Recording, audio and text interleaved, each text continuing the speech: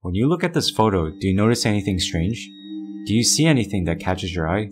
Well, let me zoom it in for you. Do you see it now? In 2015, a 37-year-old man named Nurul Islam was exploring a Victorian-style castle at the Roundhay Park near Leeds, West Yorkshire, with his 11-year-old niece Mayran and his 9-year-old nephew Raihan.